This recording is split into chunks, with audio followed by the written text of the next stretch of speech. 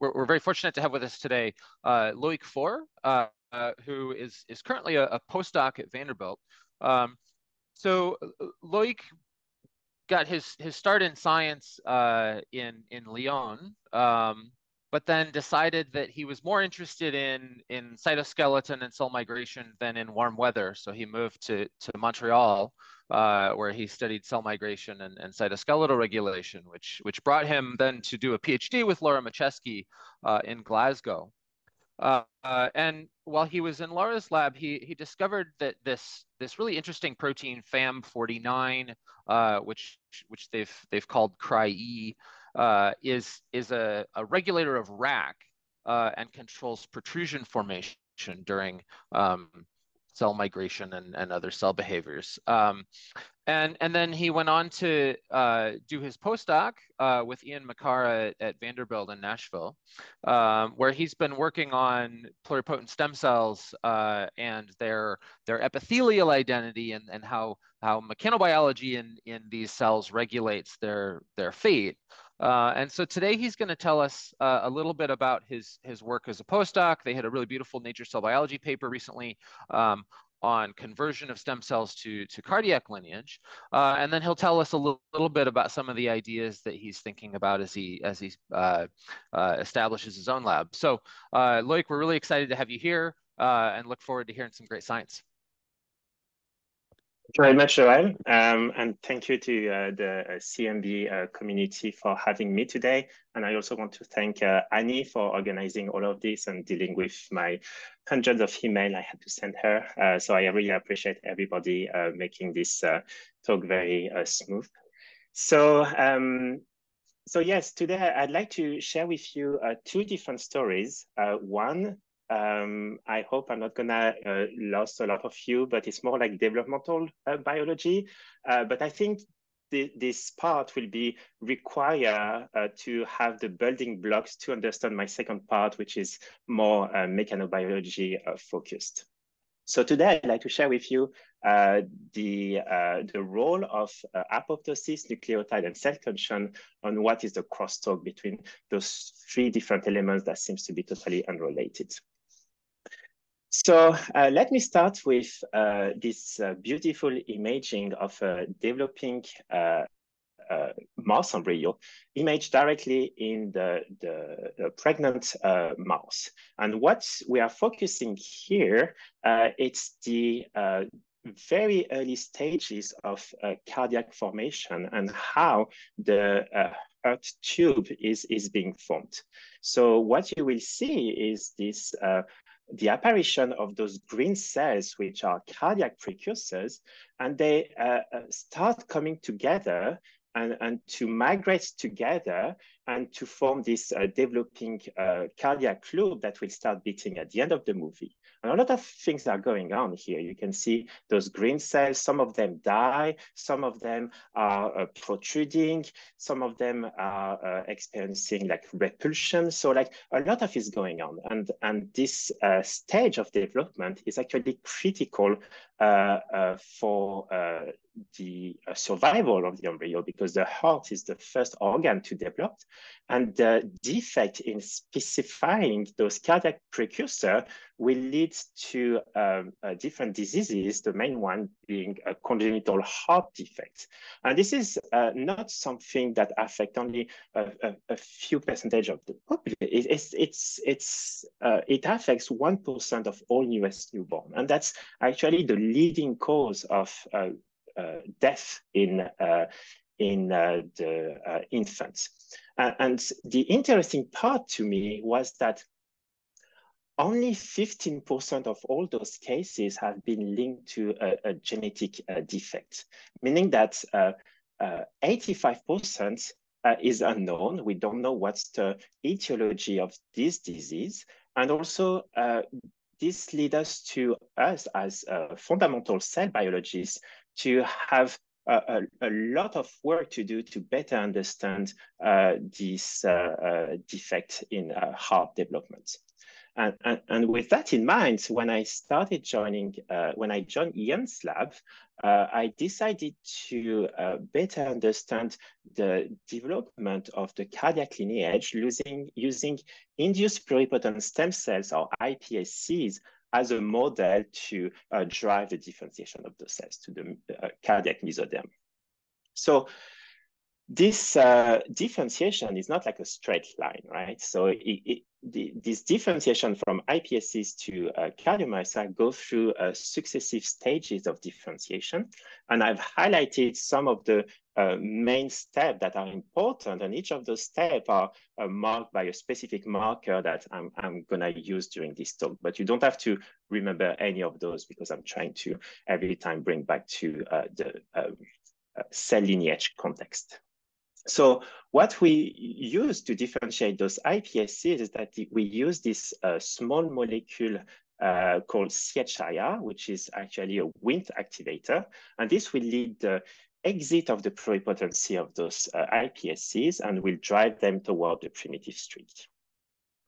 And um, if you manage to get those, this uh, differentiation protocol working, uh, you will end up with uh, beating cells in your dish. And, and this is actually beautiful to see. I remember the first time I got those cells, like everybody in the lab was under the uh, microscope looking at those cells beating because that's something that uh, we were not really used to in, in the lab. So um, what, uh, so Ian's lab is really uh, focusing on epithelial biology. And what we quickly notice is that iPSCs are strongly epithelial. And actually their epithelial features is required to uh, become iPSCs. And um, we were wondering uh, when do those epithelial features get lost to become uh, cardiac uh, cells, which are highly mesenchymal, as you can see on those uh, immunofluorescence staining, uh, stained for uh, ZO1, which is an epithelial marker in green. ZO1 is at the tight junction in the iPSCs and is uh, absent from those junction in the uh, cardio cardiac cells. However, you get the expression of this mesenchymal marker called SLUG. So we were wondering what's happening and how this epithelial to mesenchymal transition is regulated. So I'm gonna uh, quickly summarize uh, the boring part of uh, our paper, which uh, we found that this um, epithelial to mesenchymal transition is actually pretty synchronous. So this happened uh, within 50 to 52 hours post-differentiation. So, um, and this epithelial to mesenchymal transition, not surprisingly, is regulated by uh, the two main uh, EMT uh, regulator called SNAIL and SLUG. What we found is that also those two EMT markers is actually, are actually regulated by this upstream regulator called, called MESP1. And if you knock out MESP1, you won't get uh, and SLUG expression, and this will block uh, this epithelial to mesenchymal transition from occurring. So with this data in, in, in mind, we were really wondering uh, what cellular events uh, are actually driving this epithelial to mesenchymal transition.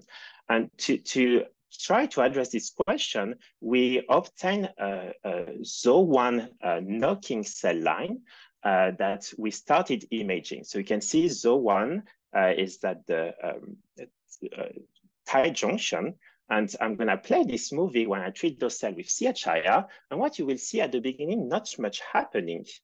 However, at some point, you will see the formation of uh, those cellular rings, which seems to be pretty synchronous.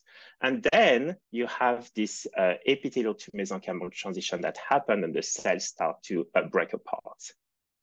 So we started wondering um, what were those cellular rings that we uh, could see. And um, one hypothesis that maybe uh, they were either uh, cell being extruded by the monolayer or they were uh, dying cells that were pushed out from the monolayer. And we started with the uh, cell death hypothesis, and we starting addressing are those uh, extrusion events related to cell death. And to do this, we uh, decided to stain for a cell death marker. Here I'm showing you a cleaved caspase 3. And you can see on this uh, IF, but also the quantification, which might be easier to see, there is this uh, transient increase of cell death during the first 24 hours of differentiation. And this slightly goes back down to the basal level by three days of differentiation. And we uh, started asking, okay, is this uh, cell death that we see actually just a, an off-target effect of our differentiation protocol, or, or, or, does it have a function? And to do this, we decided to uh, perturb the apoptotic pathways in uh, different ways. Uh, first, uh, we uh, created uh, BAX and BAK double knockouts, which uh, are part of the apoptotic pathway. And when you knock out those two proteins, you totally block the apoptotic pathway. We also uh, created some caspase 3 and caspase 9 knockouts, and we confirm all our data with this small molecule inhibitor of caspases called QVD. But for this talk, I'm mostly going to focus on our data on the BAX and BAK double knockouts. So our first experiment was to take control cells and to let them differentiate. And what we saw is that uh, those EMT markers, snail and slug, that you can see on this Western blot, are being turned on in a temporal way that I've previously described. Um, and by three days of treatment, those cells have, have, undergone EMT seen by the absence of ZO1 at the cell-to-cell -cell junction. However, very surprisingly, when we use the same protocol on our uh, BAX and BAK double knockouts, which are deficient uh, of uh, uh, the apoptotic pathway, we noticed that the uh, snail and slug were not expressed anymore, and those cells maintained their epithelial features. As you can see, you can see this beautiful epithelial um, staining of ZO1 at the cell-to-cell -cell junction. And not only this, but if you where to screen a, a, a bunch of different uh, markers during differentiation, for example, markers for the primitive streak or marker for the cardiac mesoderm.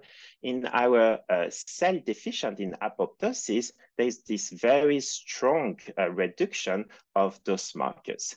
and, and fair enough, if you decide to complete the entire differentiation protocol to create uh, uh, cardiac cells, those the control cells will express all the cardiac markers and are beating uh, by 10 to 12 days of uh, differentiation. However, the double knockout cells totally lack uh, all of these markers and of course do not beat. So um, the first part of uh, my talk is really that there is this transient wave of apoptosis that uh, happens during differentiation.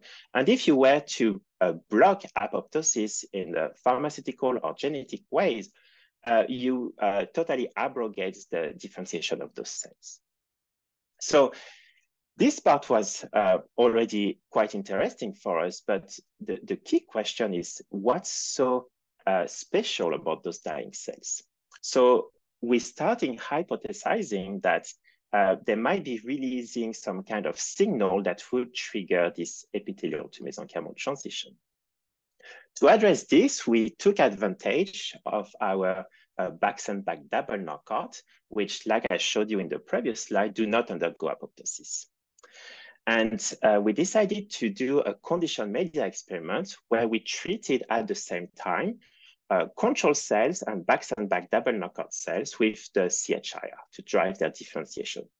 During the first 24 hours, the control, the control cells will uh, undergo cell death and what we did, we took the supernatant of those control cells and pour it over the BAX and BAK double knockout, and we start addressing does, does apoptosis happen in this uh, condition media experiment.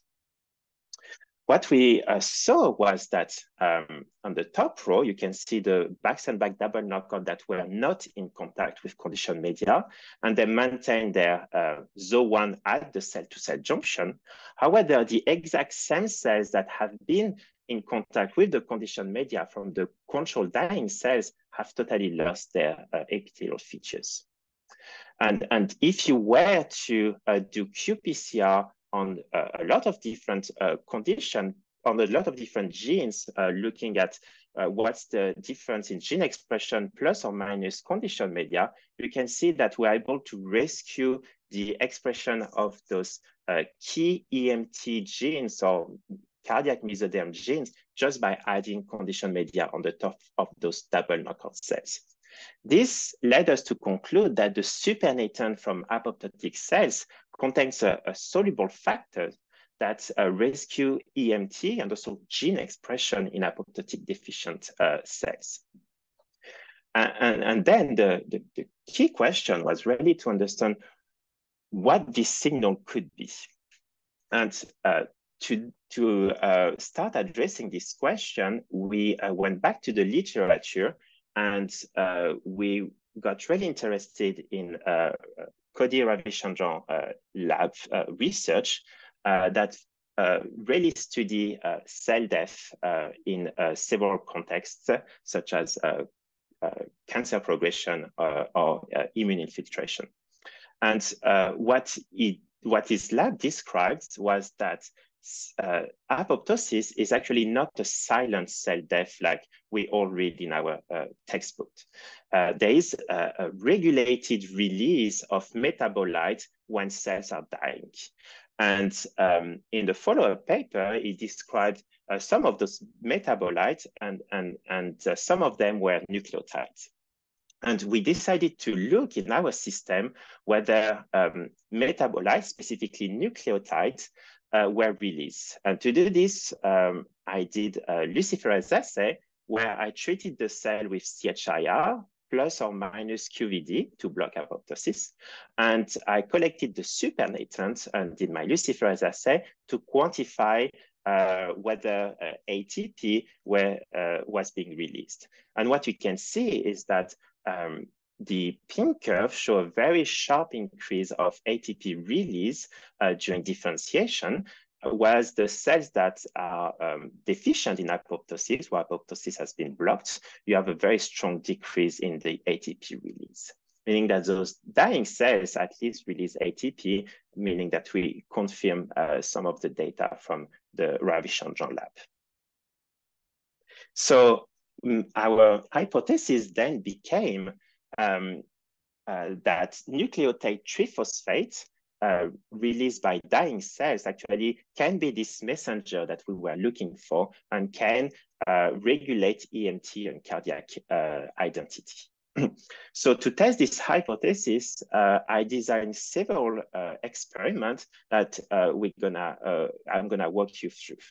So the first experiment was really to deplete those nucleotide triphosphate.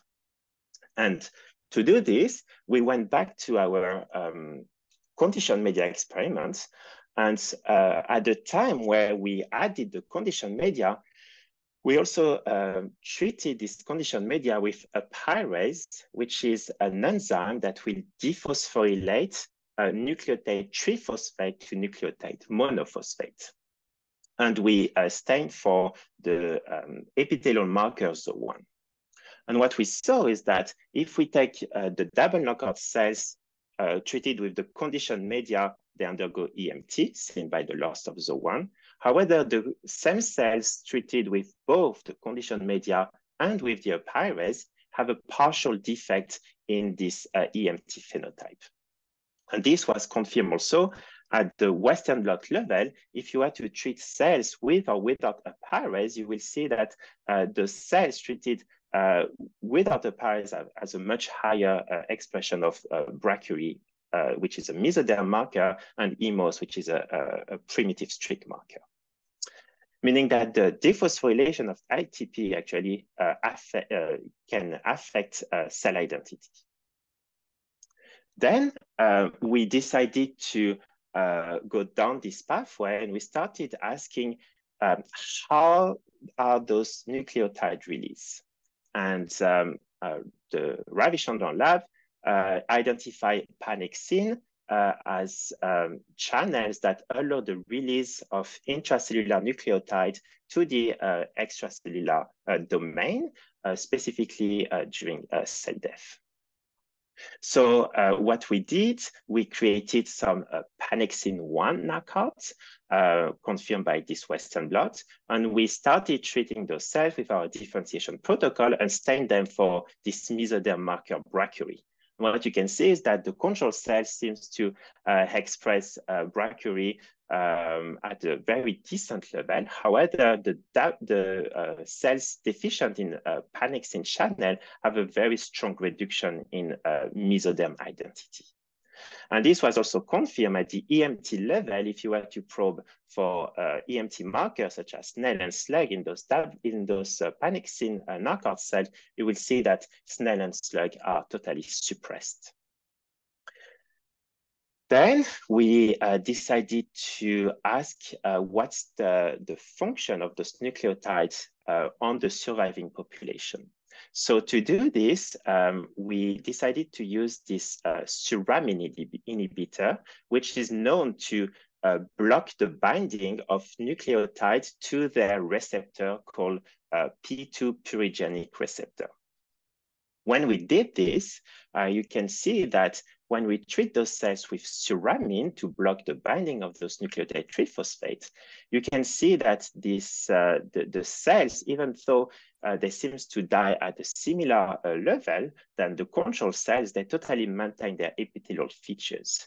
And also, if you were to look at EMT, they totally uh, uh, are defective in turning on SNAIL and SLUG meaning that the inhibition of purinergic receptor seems to block EMT and cardiac uh, uh, differentiation.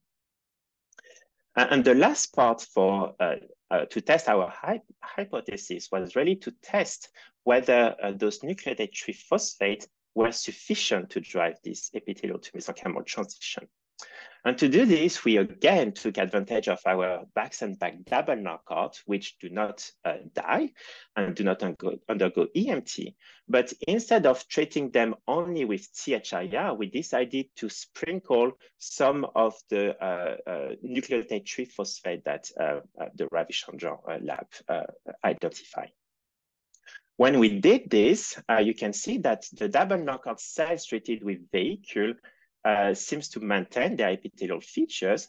However, when you treat those cells with UTP or ATP, there is a, a very a partial uh, defect in this. Uh, there's a, a, partial rescue of this EMT uh, phenotype, meaning that those cells start undergoing uh, EMT.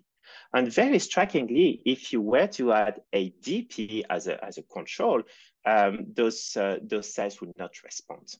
And this experiment was actually crucial in our uh, system because I, I, mentioned this uh, purinergic uh, receptor family, which is a, a huge uh, uh, family, which has a lot of uh, members, but the only receptor that is able to bind both ATP and UTP is actually this P2Y2 receptor. So um, the last experiment for uh, this part of my postdoctoral project was really to ask whether P2Y2 could be uh, mediating this uh, EMT phenotype and, and, mesoderm, and cardiac mesoderm commitment. So we designed a CRISPR knockout of this P2Y2 and did our uh, uh, apply our differentiation protocol. And here I'm showing you uh, immunofluorescence of those uh, control cells or knockout cells stained for uh, ZO1 as an epithelial marker and SLUG as a mesenchymal marker. And you can see very strikingly that the uh, knockout P2Y2 knockout cells maintain their ZO1 staining at the junction and also uh, more strikingly do not uh, turn on a SLUG. And, and, fair enough, if you were to do qPCR on those cells as well, they have a very strong uh, reduction uh, in the expression of key um, mesoderm or EMT genes that are important for uh, those cells to become uh, cardiac cells. And once again, if you were to push the differentiation to uh, obtain beating cells in the control condition, uh, the P2Y2 knockout cells have a, a, very strong defect in the expression of those uh, cardiac uh, protein that are required for their uh, function, meaning that uh, P2Y2 signaling seems to drive this epithelial to mesenchymal transition and seems to also be required for this uh, mesodermal identity. This led us to uh, our uh, model where um, the differentiation of stem cells to the cardiac lineage relies on this uh, gene network highlighted here, which is driven by CHIR. And those cells undergo this epithelial to mesenchymal transition that is crucial for their differentiation. However, in parallel, you have a subpopulation of cells that seems to undergo cell death. And those dying cells release uh, ATP and UTP through those uh, pannexin 1 channel.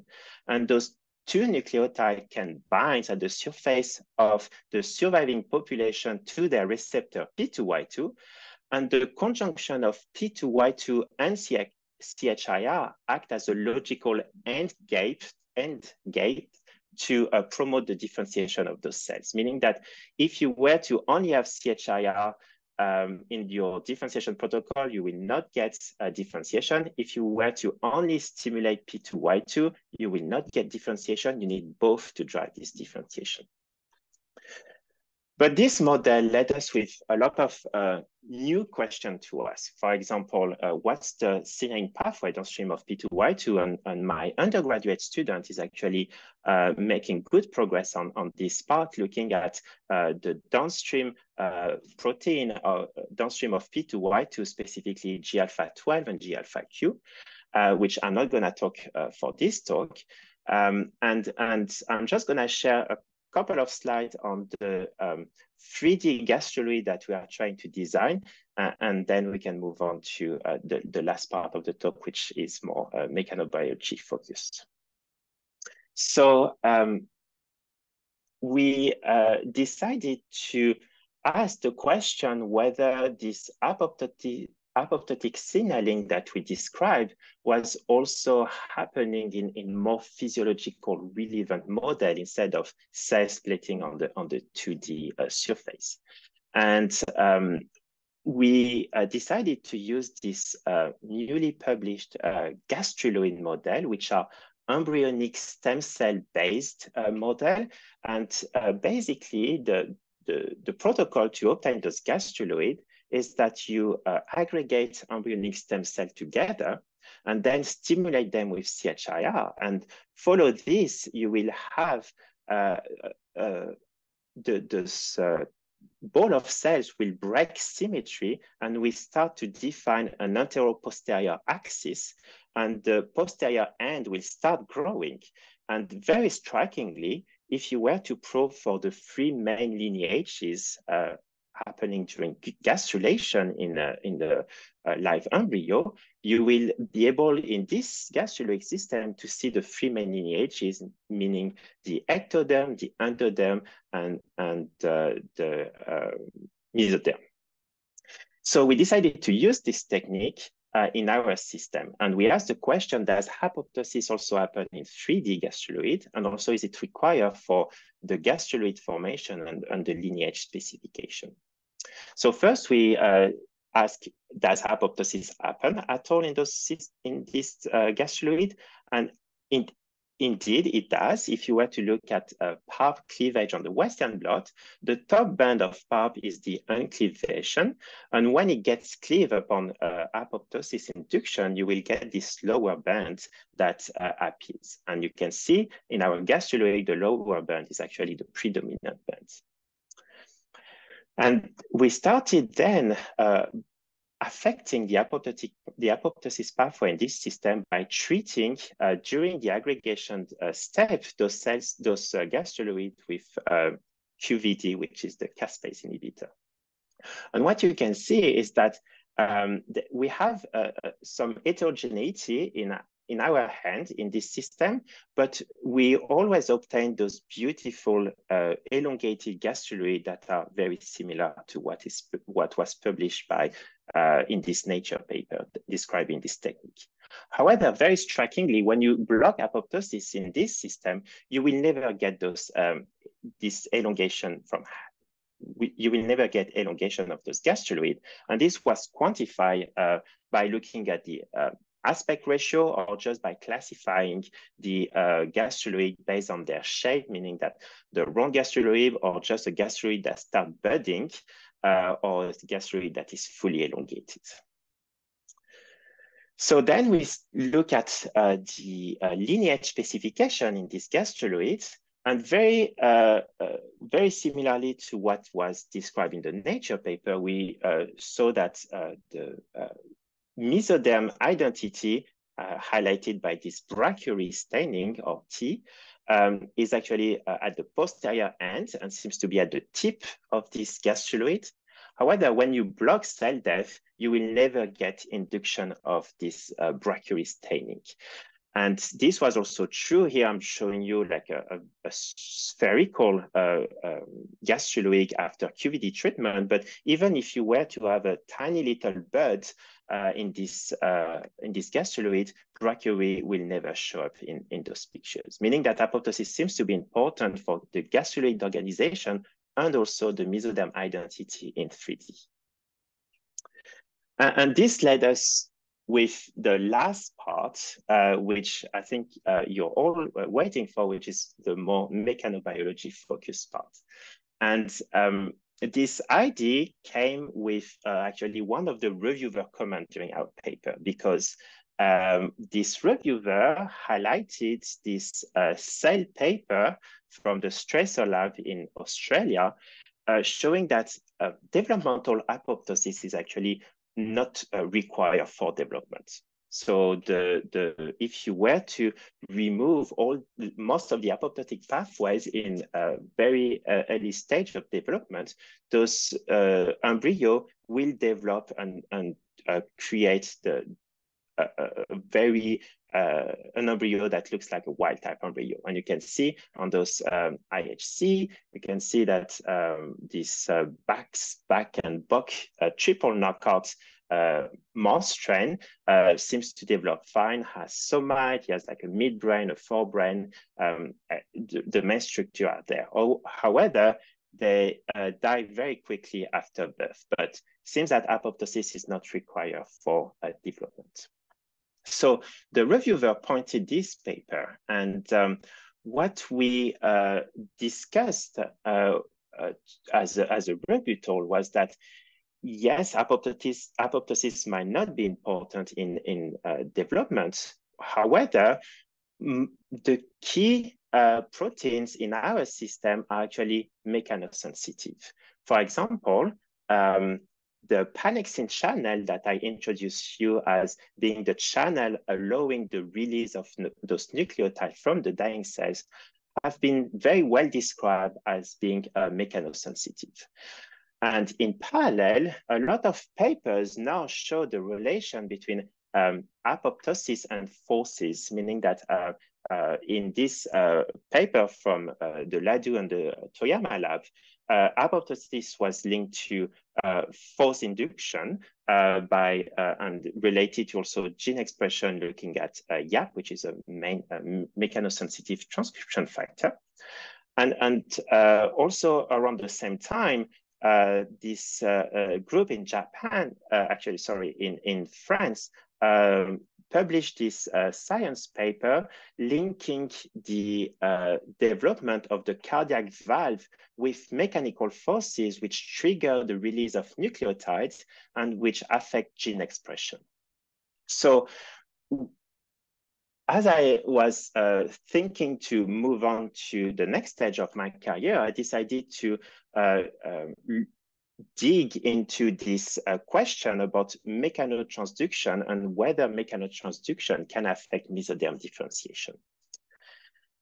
And so I think I don't have to introduce to this uh, audience that uh, forces are crucial during development. Uh, they are important for uh, the folding of the embryo or the closure of the uh, neural tube.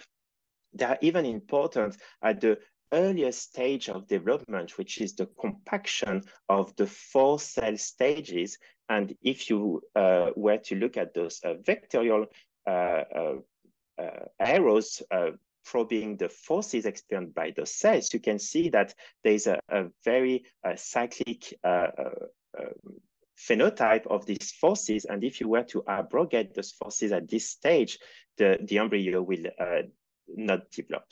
And also in our system, in iPSCs, I show that uh, there is, uh, the cell seems to experience differential forces during differentiation.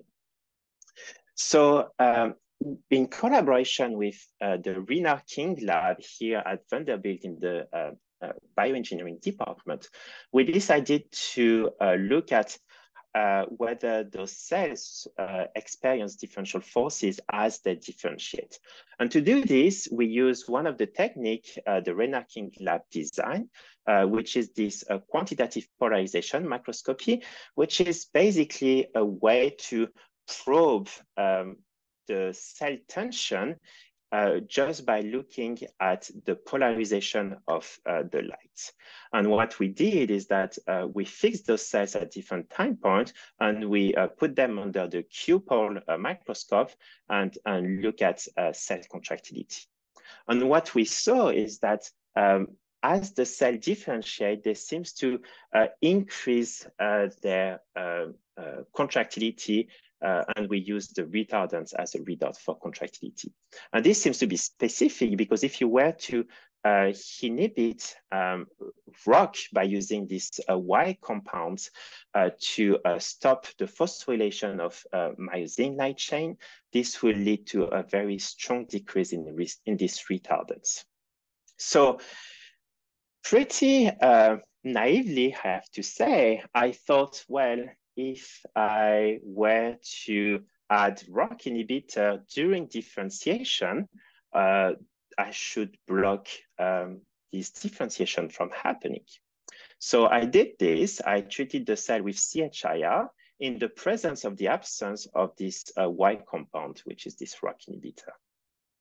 What I noticed is that uh, those cells treated with Y compound seems to undergo this epithelial to mesenchymal transition much, much earlier compared to the control cells. So I told you in my initial, uh, in my first part that this EMT that we see happen around um, 50 to 52 hours. Here, um, you're looking at 48 hour time points, so the control cells are still uh, strongly epithelial. However, you can see that the uh, cells treated with the Y compound have totally lost their uh, ZO1 staining. And not only this, if you were to look by qPCR at uh, mesoderm or EMT markers, you would see in purple that the cells treated with the Y compound have a much higher expression of those markers uh, during differentiation. And not only this is true at the RNA level, but if you were to look at the protein level here, I'm blotting for brachyury, which is this mesoderm marker, you can see that at 48 hours, the cells treated with this Y compound have a, a very strong increase in brachyury expression. So um, this was uh, very counterintuitive uh, for us and uh, we decided to use a, a, different inhibitor to affect the contractility pathway. And we use this ML7, which is a very specific MLCK inhibitor, and which should mimic uh, what we see uh, when we use the Y compounds. When we did this, we actually totally confirm our data. You can see cells treated with ML7 or with the vehicle solution, and you still see this very strong induction of uh, brachyury uh, after treatment with the ML7, meaning that inhibition of cell contractility seems to increase the specification uh, towards the mesoderm. But these data were very, um, I, was very skeptical about this data, and we all know uh, all the uh, downbeat of using um, uh, small molecule inhibitors. So I, I really wanted to confirm those data using a genetical way to modulate uh, cell contractility. And we're starting uh, doing this by uh, designing, by obtaining this uh, uh, constitutively active ROCK2 construct that are uh, linked to mVenus reporter. So we use lentiviral transfection to create a cell line that constitutively express ROCK2 uh, and sorry, express ROCK2, and this can be modulated with the addition of doxycycline. And what we did is that we did a co-culture where we mix cell expressing ROCK2 or control cells mixed together, induce uh, the construct with doxycycline, and then uh, trigger our differentiation protocol and, and, and look at uh, different uh, markers for mesoderm and EMT. Just to confirm that the system seems to work as it's supposed to, here you're looking at this co-culture experiment, and you can see the um, M Venus uh, positive cells uh, if you look at the actin, the actin is totally different from the cluster just below that is M Venus negative. And you can see this actin have very uh, strong uh, um, uh, cortical actin, which is a readout for cell contractility. And uh, in parallel, if you were to stain for a phosphomyosin light chain as a marker for uh, cell contractility, you would see that the cluster of cells expressing M Venus have very strong uh, phosphomyosin light chain compared to the M Venus negative uh, cluster. So this was just a way to confirm that this system was working. And when we look at mesoderm marker here standing for brachyury, we were actually uh, very happy to see that the cells expressing M Venus are actually the cells that do not express uh, brachyury and do not turn on the uh, mesoderm identity program. However, you have a, a, a, this internal positive control of wild type cells mixed in this system, uh, which do not turn on M Venus, which do not turn on uh, ROCK and have normal contractility. However, you see in this system that those cells uh, turn on brachyury. And not only this, but if you were to look at uh, uh, EMT marker here, uh, sorry, I mislabeled my slide. It's not brachyury, it's a slug that we are looking at. Uh, you can see that the uh, M Venus positive uh, cluster actually uh, does not have this EMT marker uh, slug. So uh, we quantify all of this uh, using also uh, another construct, the constitutive, constitutively active MHCK as a way to uh, confirm our data. And you can see that before addition of doxycycline, uh, there is no uh, difference in expression of brachyury marker. However, when you add doxycycline to turn on this constitutively active construct, you see that the uh, cells that express M Venus have a strong reduction in brachyury marker compared to their M Venus negative counterparts. Meaning that this uh, increased contractility seems to inhibit mesoderm uh, expression. And then to, uh, to make a, a, link and close the loop with my first part of um, my talk, I, I really wanted to see whether apoptosis and cell contractility actually have uh, uh, this epistatic correlation that was described by the uh, Ladu and Toyoma lab. So I'm gonna walk you through this uh, slide, which can be uh, a bit confusing, but what I decided to do is that um, I took uh, cells not induced with our differentiation protocol and probe for brachyury. You can see on the left part of the Western blot, there is no brachyury expression.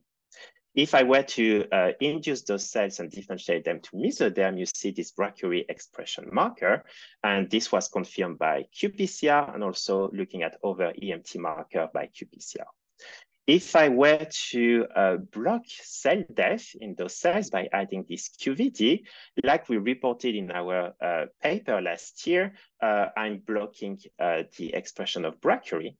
However, when I decided to co-treat uh, those cells that were defective in uh, cell death with a ROCK inhibitor, I was able to partially rescue this phenotype in terms of brachyury expression, but also primitive streak and other mesoderm marker expression, and also at the EMT level. So the, the conclusion of this slide, it seems that there is a very uh, the, those uh, two processes, apoptosis and cell contractility, seems to have this epistatic relationship, and uh, promoting cell relaxation seems to re rescue the phenotype linked by the blockage of uh, apoptosis. So with that, I will end with um, my working model, which uh, like I showed you in my uh, first part of the talk, where apoptosis seems to trigger the release of nucleotide and acting through this uh, purigenic signaling pathway driving mesoderm identity. Um, it seems that uh, cell contractility, specifically driven by uh, ROCK, seems to be upstream of this pathway and seems to inhibit either nucleotide or P2Y2 signaling.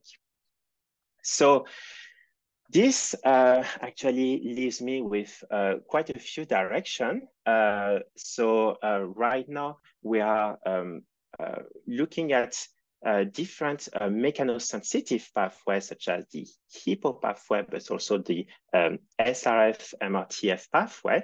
And um, one project is ready to look at whether um, this phenotype is dependent of this uh, link complex which uh, span uh, the nuclear membrane and make the link between the actomyosin network and the chromatin architecture and, and also looking at uh, whether purigenic signaling is actually uh, affected by cell contractility. And our, very, our global hypothesis is really that cell tension may actually prime Wnt target gene uh, to respond to the differentiating cue that uh, we uh, add to our cells. And um, with that, uh, I'd like to um, acknowledge my lab, especially Ian, for giving me the uh, freedom to uh, drive these uh, this, these projects uh, to their end and uh, also to uh, be a, an extremely supportive mentor and also all my lab mates and highlight to my undergrads, Jeremy Clements, who has been driving the gastroloic uh, system and looking at also the uh, G-alpha uh, signaling downstream of P2Y2.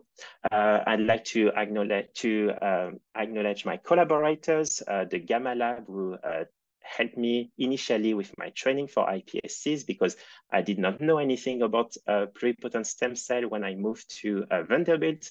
And also the Cynthia Renard King, and the Vanderbilt Center of Mechanobiology for their uh, active collaboration and support, and uh, my um, uh, funding sources, and also all the CMB organizing committee for helping me setting up this, this uh, talk. And thank you for your attention, and I'll be happy to take any questions. Uh, I don't hear you, Joel. Oh, Yep, sorry, I was muted. Thanks so much for a great talk. Uh, let's open up for questions. I want to encourage folks to just unmute yourselves and talk, or you can type it in um, and into the chat, and and I can read it out. While folks are are preparing their questions, I, I have a couple for you. Um, mm -hmm. So, have you? I'm I'm really intrigued by this idea that that cells that are entering apoptosis are releasing um, nucleotide triphosphates if you accelerate apoptosis so that you you kill the cells off before the pannexin mediated release, do you get the opposite effect? Like, can you push apoptosis faster and essentially have the same phenotype as the non-apoptotic? So let me make sure I understand. You, you, um, you, you would like me to um, kill the cells that would undergo apoptosis prior to before the the, the pannexins can release the triphosphate, the nucleotide triphosphates. That that's that's like so if they just go kaboom, if they go kaboom, do they do you still get ATP I release? I guess. I see. Um, I've not I've not tested this, and but that's that's actually a good point. Uh, I, I, I do not know uh, if I would trigger this differentiation if I were to remove those cells. What what we know is that it, it's very hard to to know which cell will will die. So we we mm -hmm. we mm-hmm. show in the paper that um, this is a random event. Um, uh, I mean, random to our knowledge. There are probably some uh, aspect that does not make it so random. But at least if you were to quantify the cells dying, there's no um, correlation with uh, their localization in the um, uh, cluster that they are at, or is there more at the edge or more in the middle of the colony? So this is uh, one part. So it's very hard to uh, totally kill those cells specifically and not kill the cells that would differentiate. So I'm not sure if fully uh, answer your question, but yeah, that's all right. Uh, did you did you look at whether the cells that go into apoptosis do they have high ATP levels? What's their metabolism? Do, are they like does does their metabolism predict their fate? Yeah, uh, great question. We actually had at Vanderbilt yesterday a talk about uh, metabolism and cell fate. Uh, um, specification and and it raised me like a lot of question about maybe the cells that are dying actually cells that have a defective metabolism. So we haven't looked mm -hmm. into this. What we know is that um, the, the cells that are dying um, are not um, it's not cell competition. So if we were to look at MYC expression uh, this, uh, which is the main driver of cell competition in, in mammalian system and in uh, during development, uh, those cells do not have higher MYC expression. So the MYC level seems to be equal in, in uh, cells uh, across our uh, population. So, so yeah, we, we still don't know what's so special about those dying cells. Yeah. Okay, so we have a, a question in the chat. Um, so I'll just read it out. ATP degrades quickly and may not be sufficient alone to trigger full EMT. Is it possible that additional apoptotic signaling pathways involving, say, TGF-beta, Wnt, or BMP uh, contribute to the differentiation of the entire cell population, which is essential for cardiac lineage commitment? Yes, and and and I think that's uh, that's that's uh, very possible. Um, what we so maybe uh, this person noticed that when I were to treat with uh, ATP, like I, I, only get a partial rescue all the time. So like most of my phenotype are not like full rescue. So one uh, way of interpreting those data is that um, uh, ATP degrades so quickly. So it, it, it's uh, that's the reason why the rescue is only partial and or that there is a, an alternative pathway that is also complementing this uh, pregenic signaling. And to my knowledge, it seems that the, the later is most likely the case uh, because if I were to um, add um, ATP gamma S, for example, which is non-hydrolyzable form of ATP, uh, I, will, I will still get this, this partial rescue of uh, my phenotype, meaning that most likely another pathway is important. Uh, which one uh, we still do not know, and, and this might be the, the um, the forces that are involved as well. So we're still investigating these parts. All right, I, I want to bring you back to the paradox. Um, yeah. These the backs back Bach triple knockouts mm -hmm. don't die, right? They, they they make embryos. Now that you've done this, the mechanobiology stuff, do you think you can explain why? So or what uh, what no, would happen, I, I, I, guess, maybe if you perturb mechano sensing or cytoskeleton in those triple knockouts? Yeah, I mean, yes, I mean that's that's really where we would love to go. Um, I think the mechanical forces might be a way to um, for the embryo to still develop because of what I uh, touch on about the way uh, Panexin channel gets open and closed by uh, forces, which can allow the release of those nucleotides and can trigger this uh, mesoderm specification independently of those cells dying. And, and also uh, this uh, paper uh, did not look at very early uh, developmental apoptosis, like what's happening in in the uh, epiblast, for example. They, they, they, didn't look at whether their uh, system would also block apoptosis at the uh, epiblast stage. So this mm. those are the two parts that I think will be interesting to uh, look. Yeah, interesting. That sounds like a cool question for follow up. Yeah. All right. Any other questions? All right. Well, like, thanks so much for a really cool Thank talk. you. I'm, I'm I, I've been very stimulated by these ideas, um, and and it's great to have you here. Yeah, thanks everybody for coming. Thank you.